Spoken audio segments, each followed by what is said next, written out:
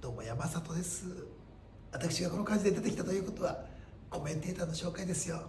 いやちょっとこの方はなんか緊張しちゃいます。なんかこの方をスタジオにお迎えしてお話しするとことでこの方です。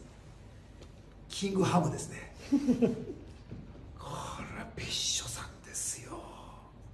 いやちょっとまあ本当ラジオとかもねウェブでずっとやってらっしゃって本当素敵なお声そしてトークがまあうまい方なんでねちょっとこの番組でも素敵なトークね皆さんをこう魅了してくれるんじゃないかなと楽しんでございます。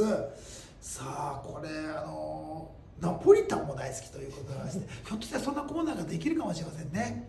えー、ナポリタンいろんなナポリタン食べるコーナーとかできてもいいかなと思ってます。どうなるのかお楽しみに。さあ次回はトリオで活躍していて元アイドルのあの女性芸人をご紹介します。